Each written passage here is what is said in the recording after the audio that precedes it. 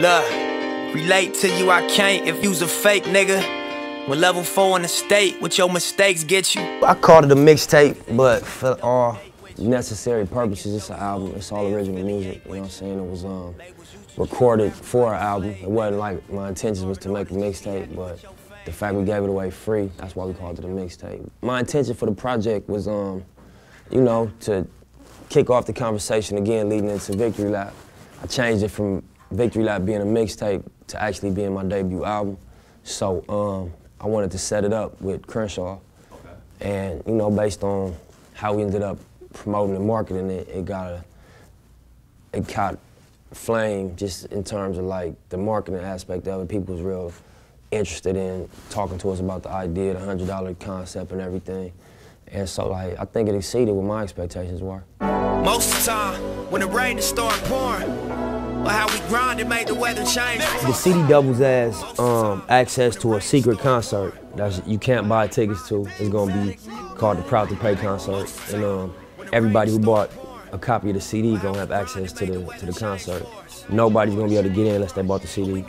And also, you know, as we go on in my career, those thousand people, we're gonna continue to like give them priority. For example, we're gonna let them hear the album before the people get to hear the album.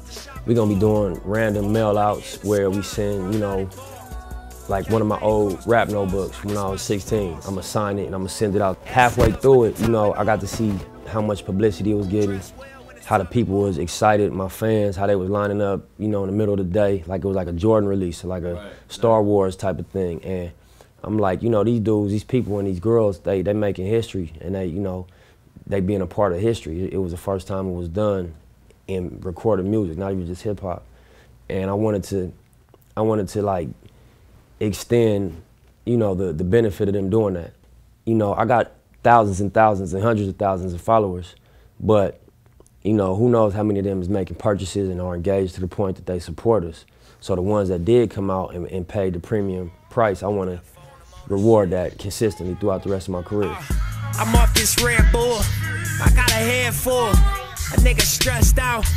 I didn't get a chance to speak to Jay personally, you know, via his company and the people that represent, you know, Roc Nation.